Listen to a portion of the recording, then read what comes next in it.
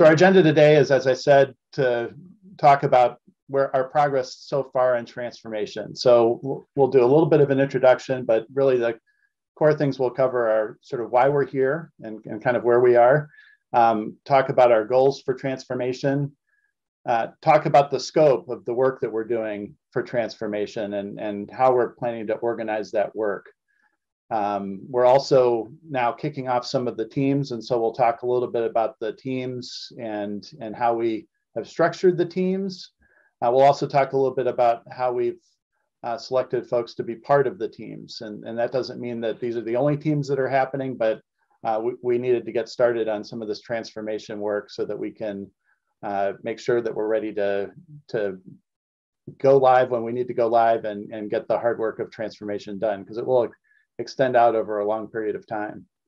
Um, we'll also talk about the project management approach that we're taking and kind of talk about progressively how we're how we're getting started with that approach. Um, and then importantly, we'll also talk about governance and decision making and, and how we're going about that for these specific projects. Um, and then we'll talk about next steps. So those are the things that we're planning to, to cover. All right.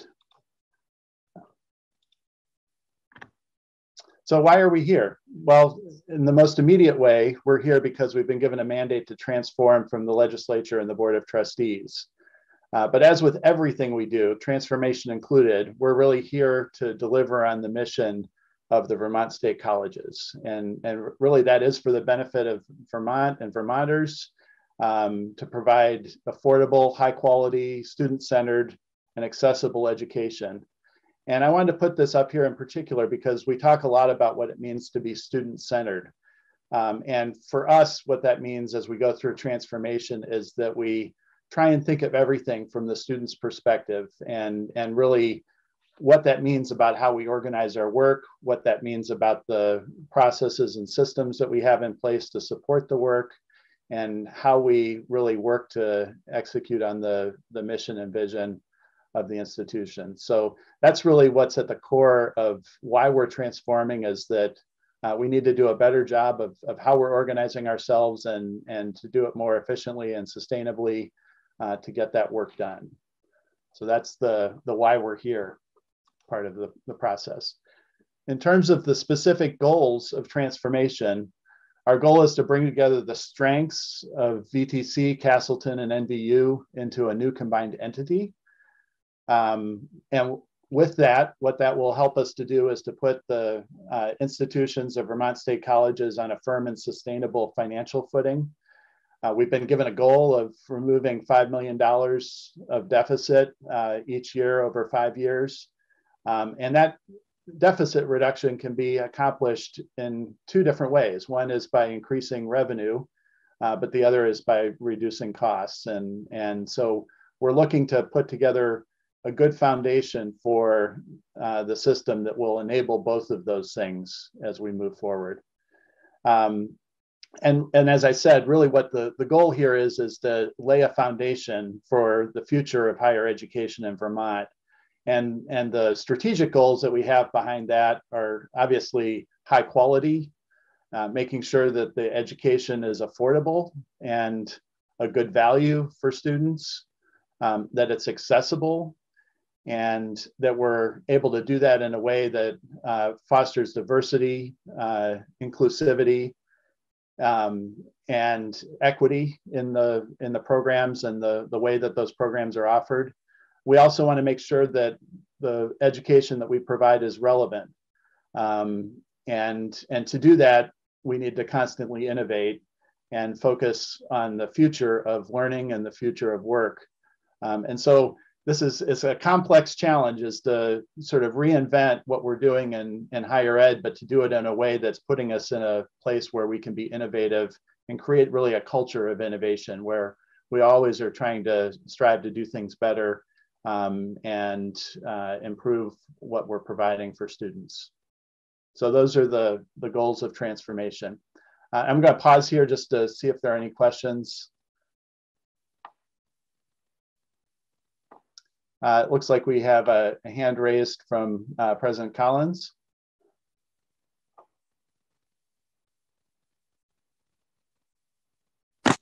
I don't think so. I didn't raise my hand. Oh, okay. Well, thank you. All right. Any, any other questions or, or comments before we move ahead? Uh, looks like we have a, a question in the chat.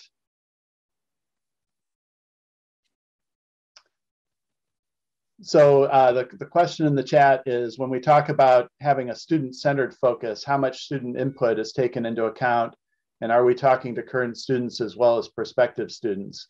And that's an excellent question um, and certainly something that we've been planning into the process, but knowing that we need to um, continue to gain input, not just from students, but other stakeholders. Uh, but it, you may have noticed in a, in a recent transformation update, and, and I think most of you are probably aware since you are attending this session and, and found the link, um, that we do a biweekly communication from the chancellor about uh, transformation and provide an update of, of where we are.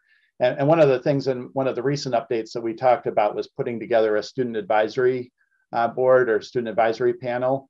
And our intent is to be doing that in the fall as students are coming back to campus. And we'll give them opportunities to uh, self-nominate themselves and, and also to participate then in uh, reviewing the work that we're doing on transformation and also uh, providing feedback and input on things like branding and, and other things as well. So we definitely have an intent to uh, include students into the design process. And I'll talk a little bit in a few moments about kind of the sequence of the work that we're doing. We're kind of launching into discovery right now, which is to understand what we're doing and look at best practices and those sorts of things. But in particular, as we get to the design work, that's one of the stages where we feel like student input is really important. Um, we don't have a, a, mechanism in place yet to really include feedback from students that are not yet, or prospective students that are not yet part of the process. Uh, but we are going to be doing some discovery work in the branding uh, research work that we're doing uh, where we will engage with not just students but prospective students and get feedback from, the, from them as well.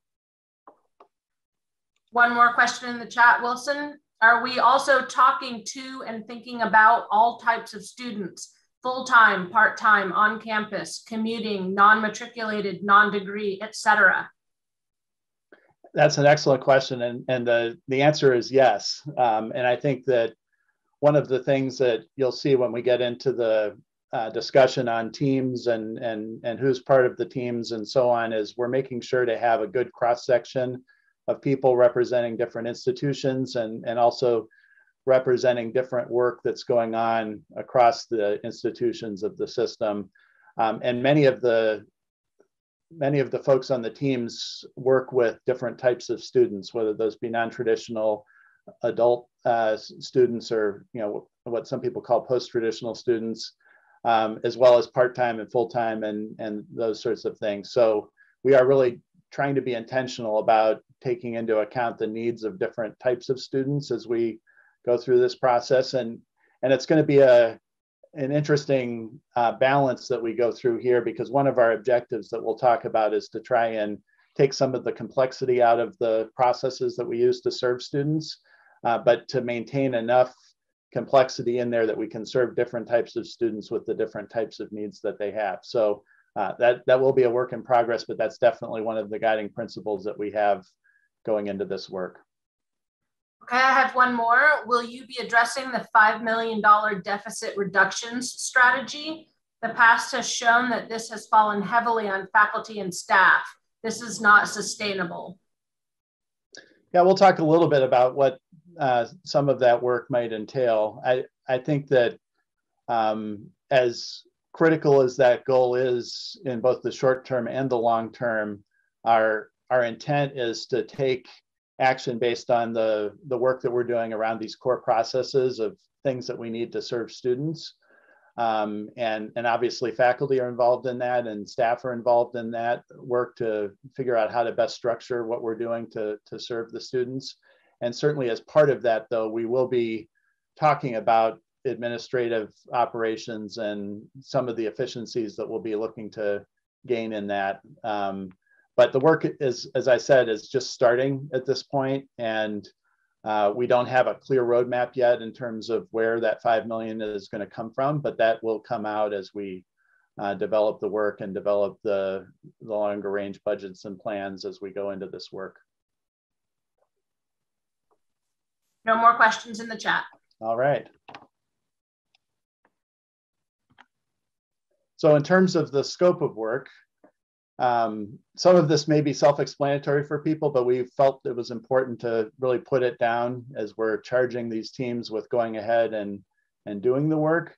And that is what is in scope is certainly to change campus configurations to better serve students and programs.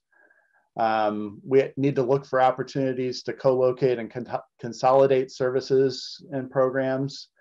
Um, and we need to look for opportunities to shift costs and resources to more efficiently provide the experience to students, both the, the non-academic and the, the academic student experience.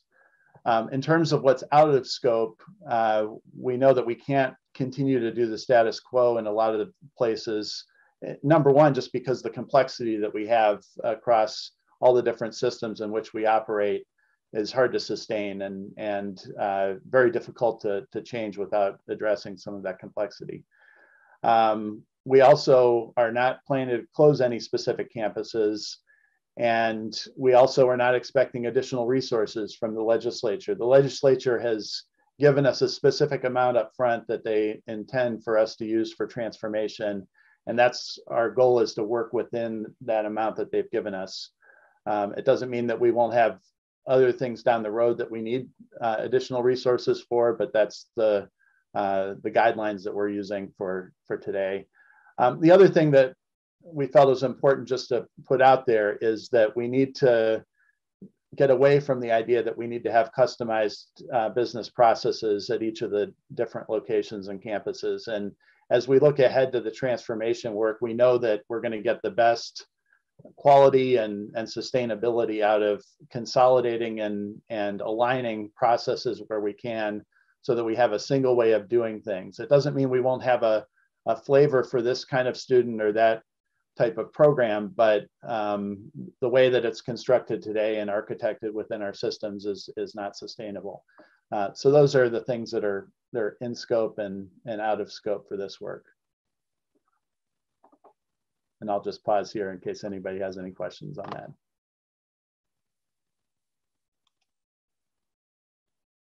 Okay, so in terms of getting started, uh, coming in and, and, and taking a look at what's already been happening with transformation, it's clear that a lot of transformation work has already been going on. Um, a lot of the, some of the teams are, are farther along in this work than others.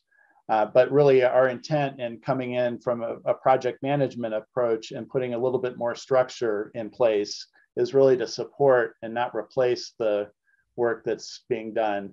Um, but as I talked about earlier, it's also to make sure that we're taking a student-centered approach, which means that we need to take a cross-functional approach.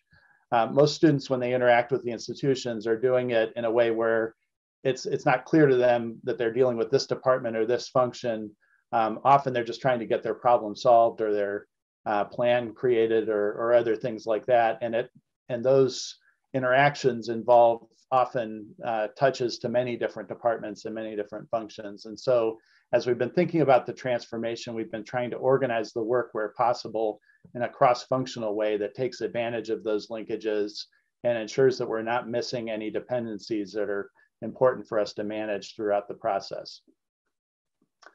Um, so to do that, we're la launching these cross-functional teams that are aligned to each of the core processes, and I'll talk about what those four things are in a minute. we're also introducing two key project management tools so that we can gain some consistency and discipline about how we're managing these different projects.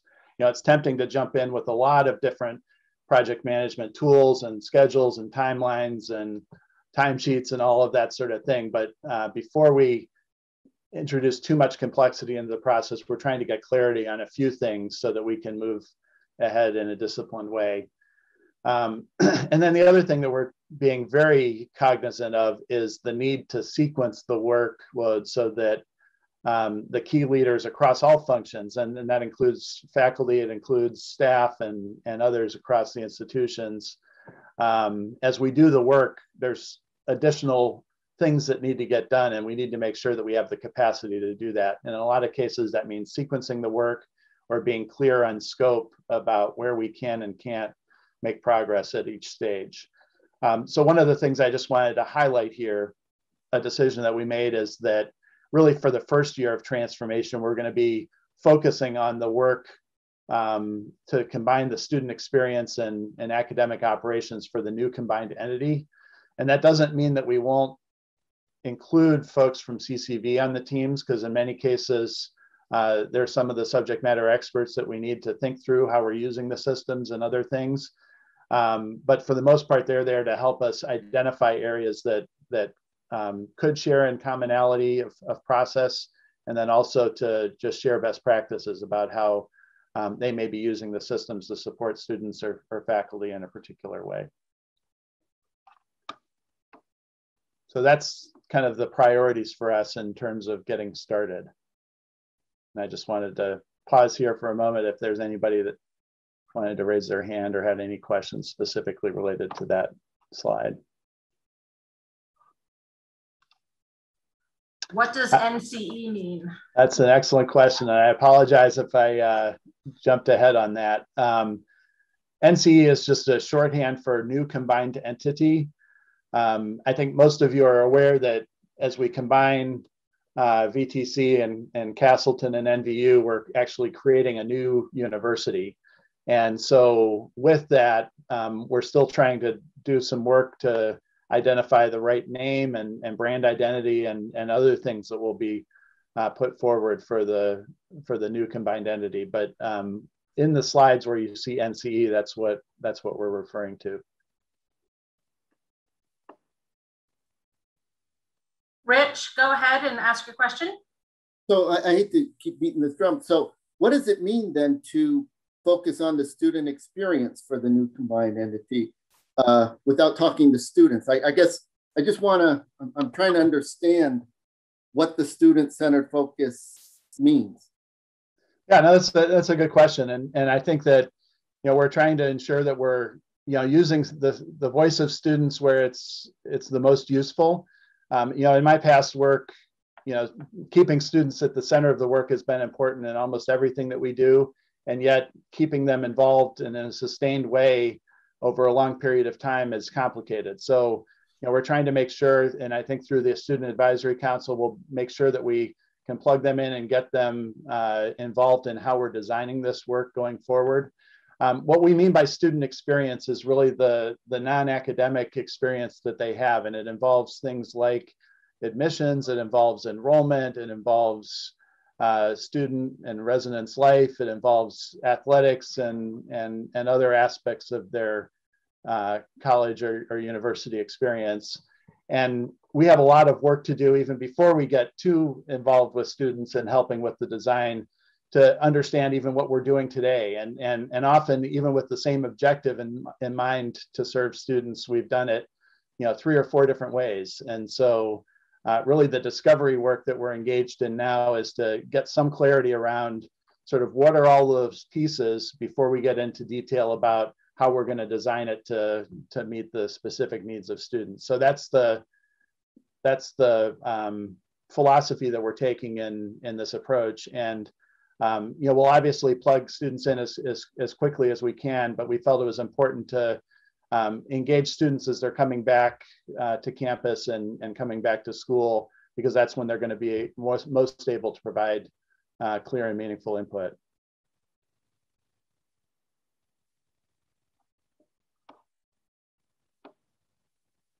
and and the other thing, Rich, I'll just throw out there is if if there are other ways that that you think we should be uh, collecting student input, or there's things that you think are important about the student input that we need to make sure that we're doing as we go, um, I definitely invite you to to share those with me or or with others on the team, because um, I think the the thing that we want to make sure is that we're doing it in a way that's uh, we're taking into account how students want to interact and and the experience that they're trying to, to gain from the uh, from the institutions.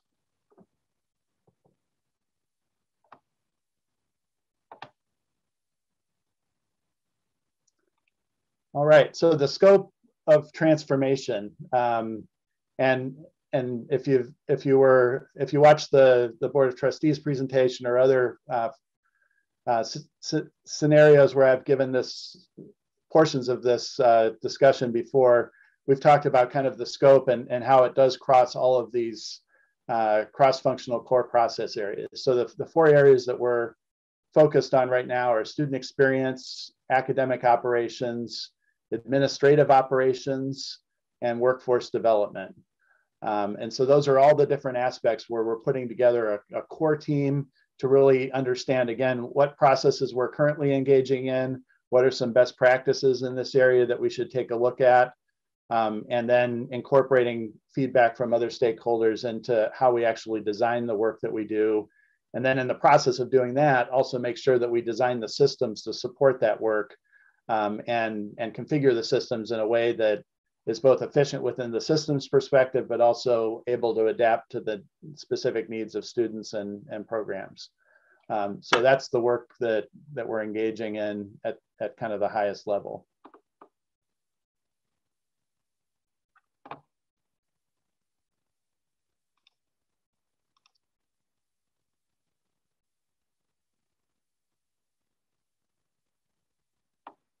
All right.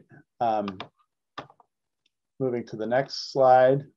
Uh, in terms of selecting teams, so how do we how do we sort of organize ourselves around this work that needs to be done across these four areas? And as I mentioned before, one of the things that we were particularly uh, focused on was making sure that we had good representation. You know, it, it's it's tempting to want to make sure that everybody in the organization and across the system is involved in the transformation, and we all are to some extent. Uh, but we wanted to make sure that the teams themselves were of a size that we could really get some hard work done. Um, but we, at the same time, wanted to make sure that we had appropriate representation across the institutions um, that were going to be coming together, as well as the different functional experts that we needed to have be part of the process. So, you know, we really wanted to make sure that we had that right representation across the different institutions and the right functional expertise um, we also wanted to make sure that we made clear to the people serving on the teams that they have a dual role.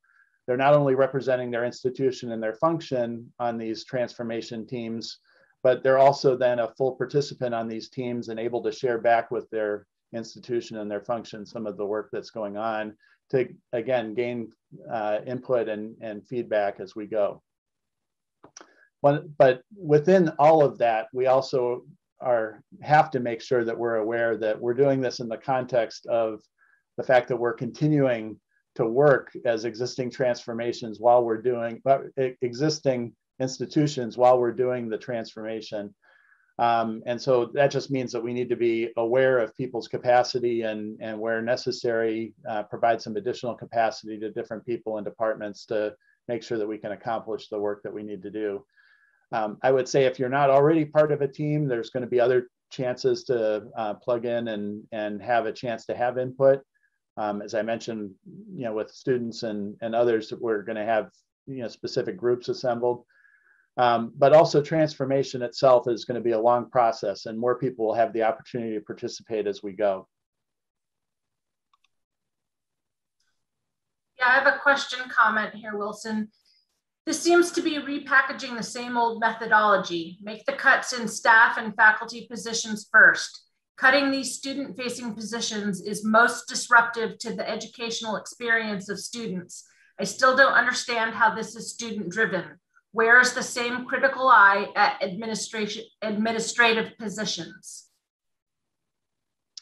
Okay. Um, well, I'll, I'll address this the best I can, and if others have a thought on it. Um, I'm not sure exactly what methodology has been used in the in the past. Um, what I will say is that we've been intentional in constructing these teams to not assume that there's any sort of org chart implication to these teams. These teams are being organized around doing the work. Um, and so there's not an intentional element to say, okay, we need to cut the people here or add the people there or other things like that. We're trying to understand what work needs to be done, how we need to organize that work, and then we'll get to the point of determining what's the best way for us to structure ourselves to get that work done. So um, it may not feel like that to people. And, and I, I guess I'd be curious if there are you know specific things that you think are um, driving that. I think one of the things that that I'm concerned about, and I know a number of people are concerned about, is you know some people make the decision to leave, and we need as many people as we can to be part of this transformation work. And if anything, we need to add some capacity to get this work done. So um, you know, we will definitely be uh, dealing with it, administrative uh, positions and, and how to organize administrative work to get this work done. Uh, we'll also be looking at, at staff, we'll be looking at faculty, we'll be looking everywhere to make sure that we're structuring the work to provide the best student experience and the best academic experience. Um, so I, I, think it's too early to know exactly how that's going to play out in terms of, of staff um, and, and faculty at this point. Yeah, I guess I would just add that I mean, I there's hasn't been any um, any determination about termination of positions or cuts of positions at this point. Um, obviously, we recognize that there will be impacts down the road. Again, at this point, uh, we are seeing a fair amount of attrition, um, and we're trying to cope with that as best we can to make sure that, as Wilson was referring to before, that the work that needs to be done to keep the institutions up and running continues while we're also in the process of transforming. So there is no plan at this point to be cutting staff or faculty positions. So I'm not sure where that's coming from. Um, you know, this is that's not what these these project teams are going to be doing. That's not what they're focused on, um, as I think Wilson explained. Okay, I have another question. Uh, so all the team members have been invited to participate. Are the names of the people serving on the teams going to be available? Absolutely. So that's actually uh, going to be the next slide, Martha. So I appreciate you uh, asking that question. Um, and as I as I mentioned before, we're going to be assembling a core team and and and sub teams for each of the four core processes. The only two that we've launched so far are student experience and academic operations because those, in many cases, define the work of, of the other uh, administrative operations group. And then workforce development will also be coming along, but we're in the process still of uh, completing workforce 2.0 and and um, so that that will be coming at a later time but um, it is is a high priority to get it started as well uh, but what I am able to share with you is, is the structure for uh, the student experience and the academic operations.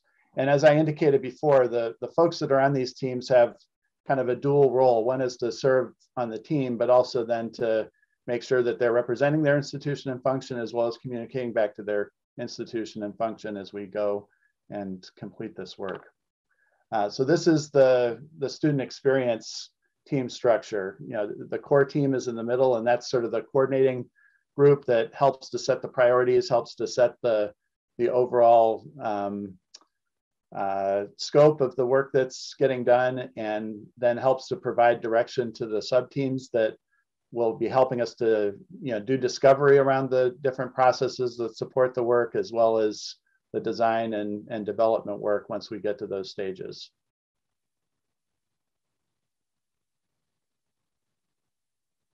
So as an example, um, you know, some of these teams are a little bit farther along than others. Uh, there's already a, a, brand identity team that's working and uh, preparing to get involved in some research and, and some listening sessions across a wide variety of stakeholders, et cetera. So there's work underway already there. Um, but in most cases, the core teams now are, are sort of establishing their charter, establishing their priorities, and then we'll be kicking off the sub teams here as over the next couple of weeks. So I can read this question in the chat. How is the decision made as to the makeup of the athletics work group? It seems glaring that the athletic directors from Lyndon and Johnson were not included in the team. And in fact, nobody from within the Lyndon athletic department is included. In terms of discovery, Lyndon and Johnson have already navigated the waters of operation separate operations, separate NCAA athletic departments within the same institution, an experience that would seem valuable to bring to the table. Speaking from Lyndon's perspective, over 40% of the incoming class consists of recruited student athletes. So that is also an important perspective to have at the table as the work goes forward. No, that's I it. can. Go ahead. I was going to say I can I can respond to that. So um, again, there is some turnover in the athletics uh, departments at Johnson and Lyndon at the present time. So Jonathan Davis has been identified um, to represent NVU. This is a team that will likely be expanding. As you can see, there are not that many folks on it. So um, I think, as Wilson was explaining, some teams are further along than others. Um, and again, these are not set in stone, these teams. There may well be other people added. There may be people, for whatever reason, um, you know, switching out. Um, but this is where where we currently are at. Um, but we do recognize that from the athletics departments at um, at NVU. So we are aware of that issue, and that's why Jonathan is currently listed as being on that team. And and I would also say, just in in discussions about this, that uh, student and residence life is a very broad area as well, as well as athletics. And and as Sophie said, our intent was to sort of put some initial uh, team members together. And then as they begin work, we'll be expanding the membership of those teams to bring in expertise in certain areas where we know we need to, to address different approaches and different ways of doing the work across different campuses and different uh, institutions. So more, more to come on those. Um, and, and you'll see that at the bottom of each of these team slides, there's a, a date and time of, of sort of, you know, when it was most recently updated. And, and we do expect that as we go through this work, partly as a function of how the work progresses and we need different kinds of expertise at different times. Um, but also we will have some difference in, in uh, who's on which team from di different institutions as the as we go through the academic year and the and the workflows at the institutions change as well.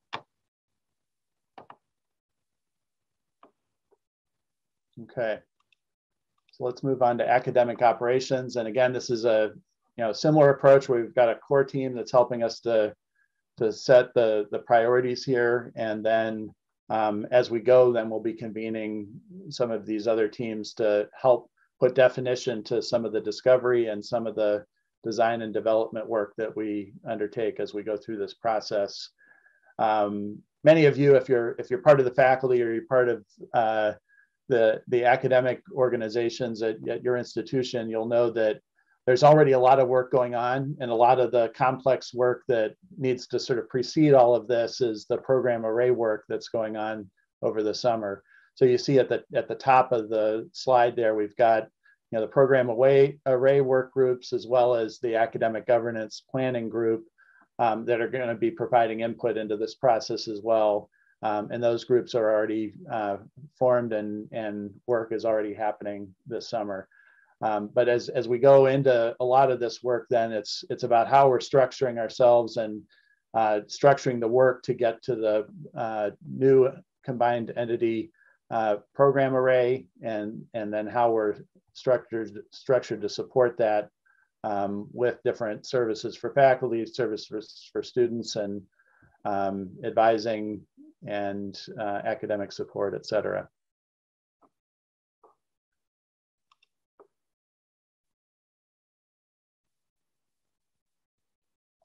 Yeah, I have a question. When will faculty receive updates regarding this academic optimization work?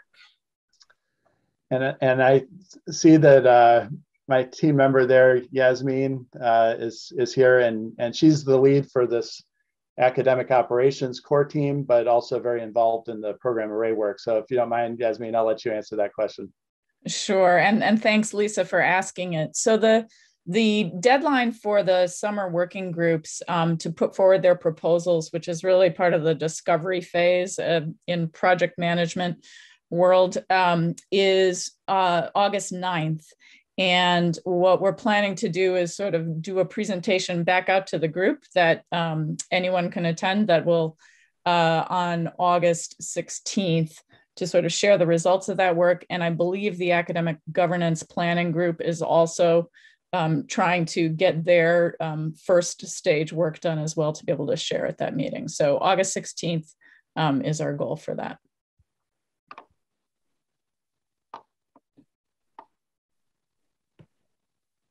Thanks, Yasmin.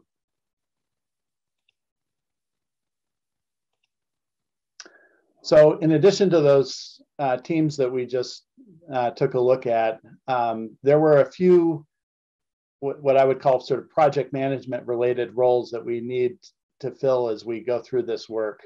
Because um, a lot of this work isn't just understanding what we're doing, but it's also designing new processes and ways of doing things. So there's really four roles that we're adding to this work to ensure that we can keep things moving smoothly and that we're we get to the end result that we're looking for. Um, so obviously, that you know, project manager is one of the key roles, and, and I'm obviously serving in that capacity. Um, but we also are going to be adding a, a, business and process analyst role that really helps the teams get to uh, an understanding of what the current processes are and how to optimize those and consolidate those into a single process. Um, we're also engaging a, a, business intelligence lead, somebody to really make sense of the data that we have across the organization and how that data interacts with the different processes that we have, how we collect the data as part of the process and how we use the data coming out of the process is really important for us to understand and, and having common definitions for the data across the organization. So a lot of that work is, is yet to be done, but now is the time to do it as we're really getting down into the details of the process and the systems to support the process. Um, and then finally, we have a financial analyst role um, that will help us to evaluate the alternatives um, and options that we have of structuring this work and, and really getting to how do we invest in the right places to make this work as effective as possible um, and ensure that we have the resources deployed in the right places for the students and faculty and others that are going to be doing this work.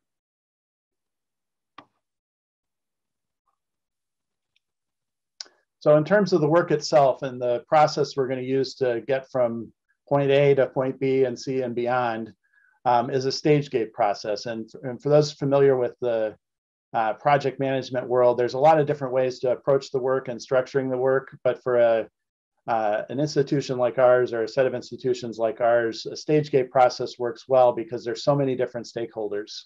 And the work is very complex and, and involves a lot of uh, specialized work in getting the work done.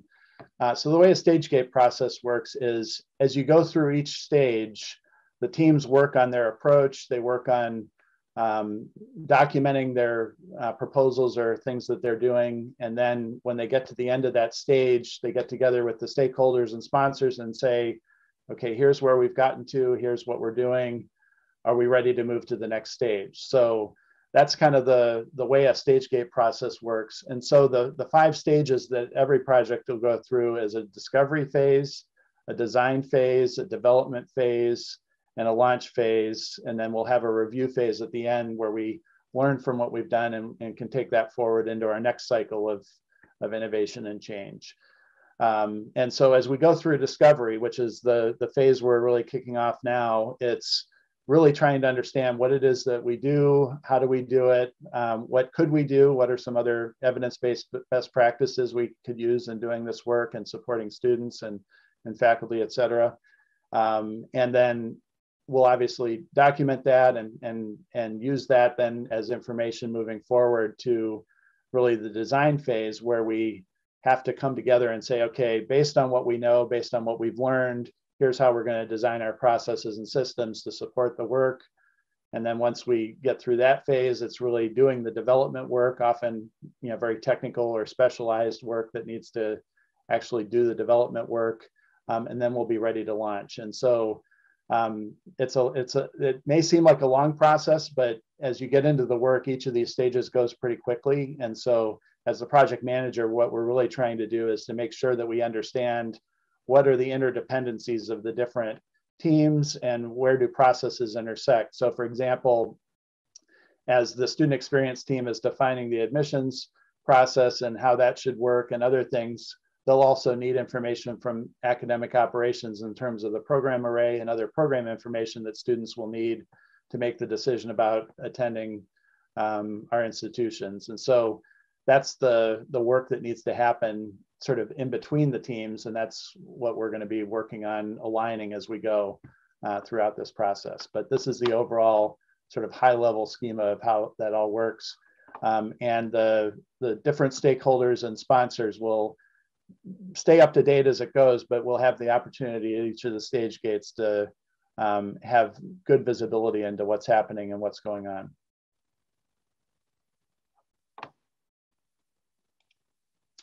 And to ensure that we have good communication about all of these things, there's two project management tools that we're starting with. Um, and that's not to say we won't do uh, more in the way of project plans and timelines and all of those things and sort of behind the scenes or, or uh, in, within the project management area. But the two big documents that we're expecting the teams to uh, take on right away are a team charter, so we can be clear on the purpose of the team, the membership of the team, what the key objectives and, and priorities are, what are the deliverables, and making sure that we're putting a good set of uh, direction out there for these teams to work on and that they're also able to have a clear understanding of what's in scope and what's out of scope as they engage in this work. The charters also include things like guidelines and norms for the team to use for decision making and other things like that. Um, but it's really just essential to have these teams have a clear expectation of where they're going. Then the second document that we're implementing also is a project status dashboard. And that's an opportunity for each of the teams every couple of weeks to uh, put forward information about what's been accomplished, what's the, what are the priorities for the next period, um, how, how are things going so far? Are there any things that need to be addressed? are there any questions that need to be answered or decisions that the sponsors or stakeholders need to make in order for the team to move forward?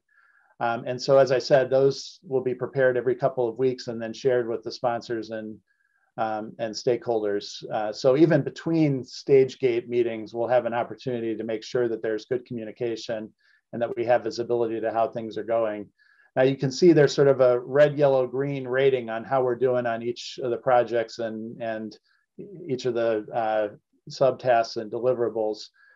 And from experience, I'll tell you that you know teams have a hard time sort of embracing the red, yellow, green uh, because they want everything to be green.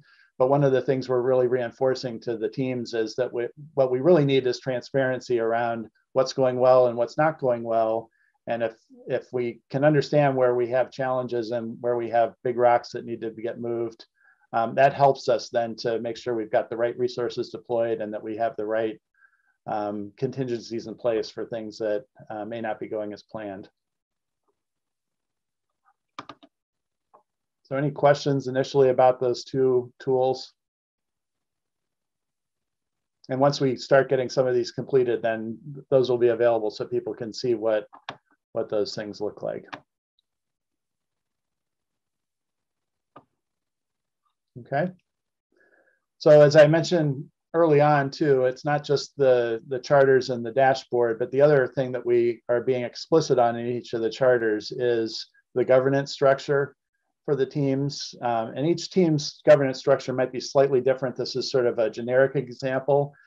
Um, but what's important to recognize on these teams is that this is a chance for people who are actually doing the work and understand how the work needs to get done to debate different options, come up with solutions, and then put those solutions forward to uh, the stakeholders and the sponsors to, for approval. Um, in most cases, you know, the, the teams really are not the ones deciding how we're going to do things, but they're putting forward the uh, the plans and, and suggestions. In some cases, you know, the team will put forward a couple of different options for the stakeholders and, and sponsors to debate. Um, but it's really getting comfortable with your role as a team and and and and realizing it's it's your responsibility to uh, be able to both have your team hat on as well as your your functional institution hat on as as you're sort of debating the different options and and putting forward the recommendations.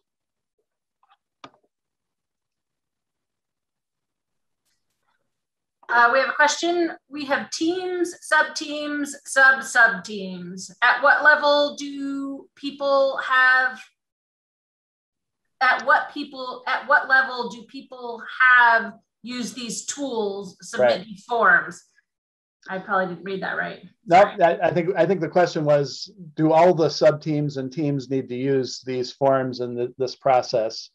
Um, and what I would say is, we want the we want all the core teams and most of the sub teams to be using these tools and and the process as we go forward. Now, there's there are some work groups, and I won't call them teams because they're they're groups that have formed sometimes organically or you know over some period of time to deal with different sorts of topics.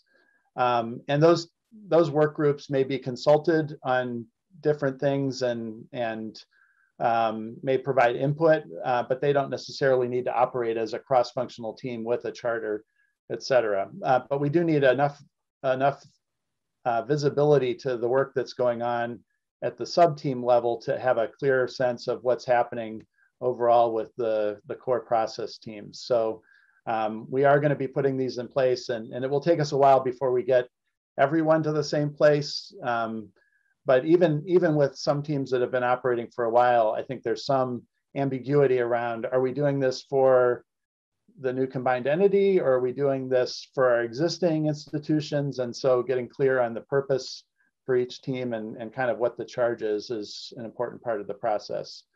Um, and and I and others will be helping to work with the sub teams to kind of get some of that stuff in place. It doesn't mean we can't get started on some of the work, but we need to make sure that we're being disciplined enough that we're not um, creating rework for ourselves or, or a lack of communication where we need to have better communication.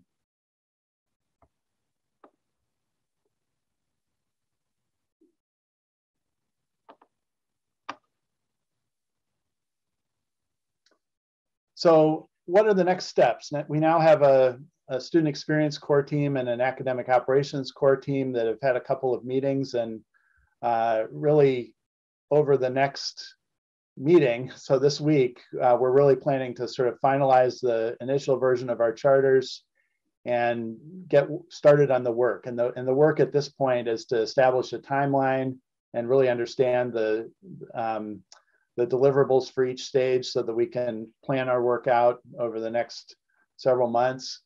Um, and then begin to define the core cross-functional processes and sub-processes uh, so that we can do the discovery work most immediately. Because um, that's really where we are is needing to figure out what's happening and, and what are we doing across our different institutions so we can, in the next stage, define a common approach. Um, and as part of that, we're doing some research to determine best practices and, and other things as we go.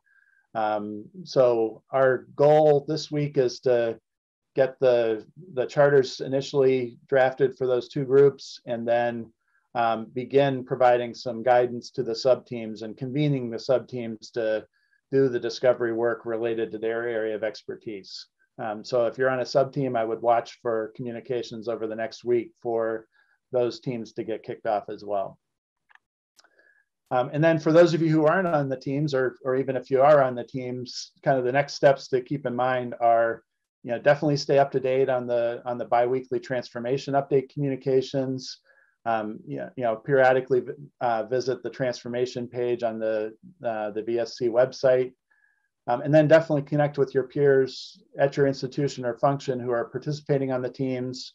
You know, provide input and feedback when when engaged, and and definitely keep coming to events like this and other places. Um, you know, I'm certainly available for for people to connect with if you have specific thoughts or uh, suggestions. Um, and as I said, I think it was in response to, to Rich's question. If if you have thoughts or ideas about how to get a particular group of students or others involved um, in providing input and, and feedback, I would definitely encourage you to reach out and, and make that suggestion because, um, you know, we don't always have the right answers, but we certainly are trying to uh, organize this work in a way where we get as much uh, input as we can in a constructive way and can really put things in place for students and faculty and, and other stakeholders as we go. I have a question in the chat. What is being used as the best practice standard? Yeah, that's a that's a good question, and I would say um, we haven't set out a particular standard. I think we would like our best practices to be evidence based, and that um, you know, there's a lot of people trying a lot of different things out there, but they don't always get measured as, as to how effective they are. Um, there won't always be an objective standard out there of, of past evidence. Um, so in some cases, and this may be true even of later um, optimization stages, but you know, we may need to pilot some things and see how they work.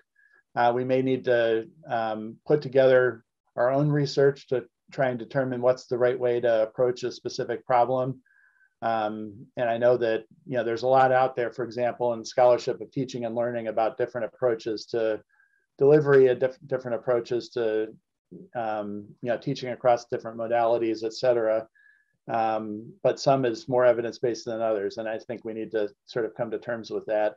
Um, we don't have a particular standard as it relates to that, but we are going to have some frameworks in place as we go. So, for example, we talked on the at the kickoff team for academic operations about needing to have a stronger um, diversity, equity, and inclusion lens on how we're doing this work. And so uh, we're putting together a work group that's going to help us develop a framework that we can use to evaluate some of the uh, proposed uh, processes and, and practices that we'll put in place as we go. So um, I think there's definitely going to be an opportunity to look and say, okay, from this lens, how does this uh, fulfill best practices? How does it fulfill um, accessibility and affordability and all of the different uh, objectives that we have as part of transformation. And so as we do the, the stage gate meetings, that's when we'll be able to evaluate how well we've, we've uh, matched the different frameworks that we'll be using. But if, again, if to my, my earlier comment, if you have a particular standard that you think is effective for uh, best practices, we'd love to, love to hear it.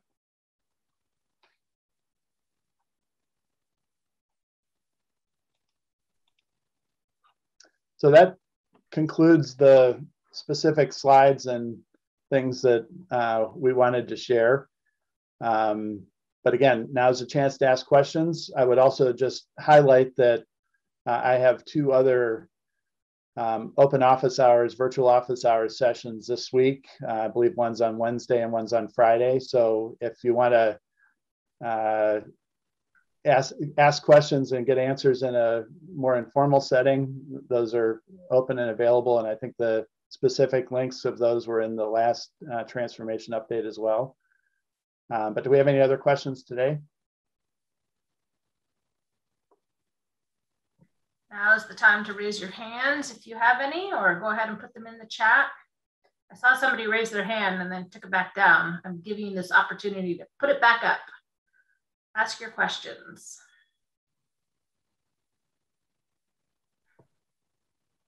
I have one in the chat. What models have you drawn on to structure this transition? Seems complex.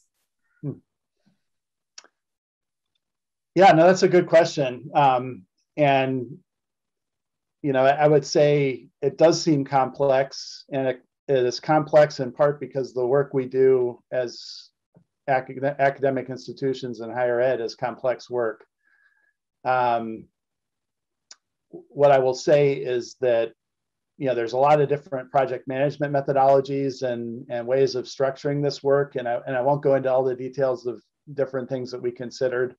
You know, I think sort of the, the fashionable thing these days is to do things in agile um, project management methodology, which uh, is more incremental in that you kind of are building things as you go. Um, and that was really not the, the right approach for a project of this magnitude. But as we get further into the process of transformation and have an initial foundation established, we may in fact move to a more agile approach to how we optimize and improve our processes um, because it's it's a little bit more nimble, it's a little bit more uh, effective from a, a, sort of culture of innovation perspective. Uh, but the, the task that we're trying to take on today to combine uh, different universities into one and then align uh, the resulting university with the community college and the, all the systems to support it and everything is a complex task and a complex operation. Um, and, and I've been involved in projects like this in the past and, and this sort of a cross-functional approach uh, ensures that we don't have disconnects between functions. I think often organizations uh, try and address change in functional silos. And while that may be very quick and efficient from the perspective of addressing a functional need, it doesn't necessarily address a cross-functional need. Um, and also is, is at much higher risk of having then disconnects across functions and in particular with the systems. Um, and so in many cases, we're doing one of the hardest things, which is trying to redesign processes while also needing to design and redesign systems as we go. Uh, but we're we're not implementing a new ERP system or or something else that would add that much more complexity to what we're doing. Uh, we're trying to work within systems that we have and and optimize and gain some consistency. So we're fortunate in that um, our institutions already use a common uh, student information system and and uh, marketing system and and some other things. So uh, it's not so much implementing new systems; it is aligning to consistent processes within existing systems.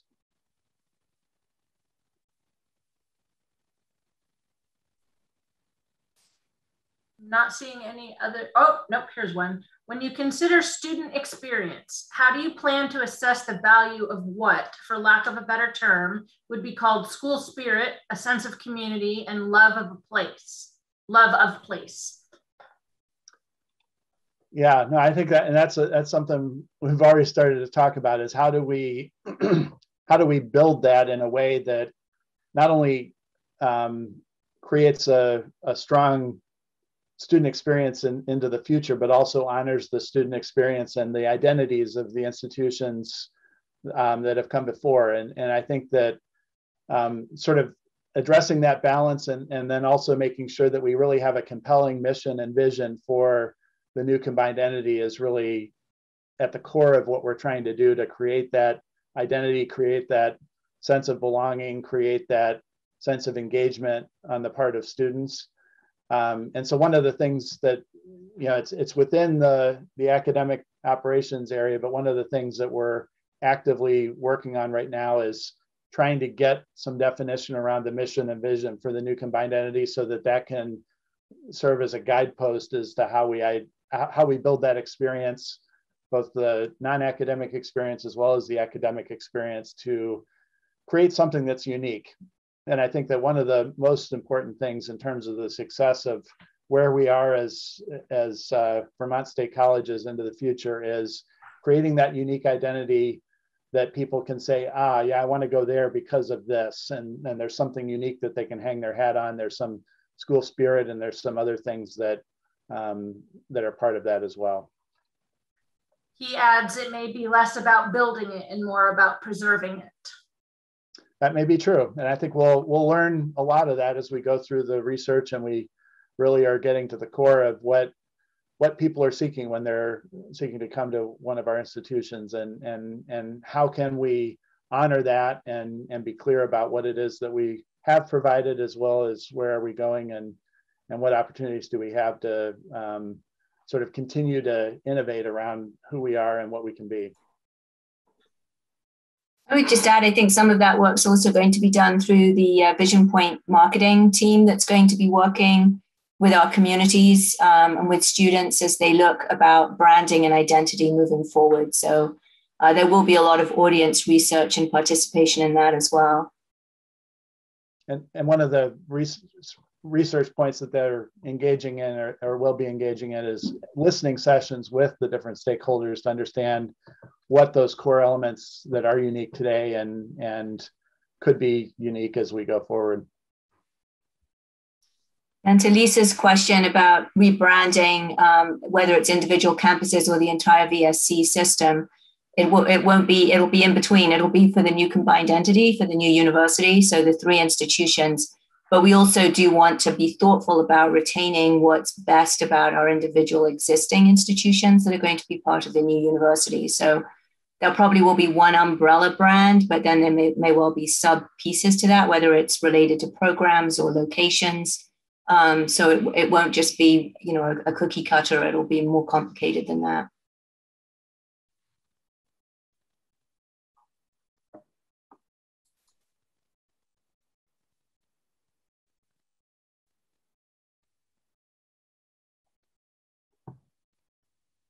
Okay, well, unless there are any additional questions, thank you very much for attending this afternoon. I really appreciate your time and and willingness to engage on this important topic. And, and as I said, uh, we have some additional office hours sessions coming up this week.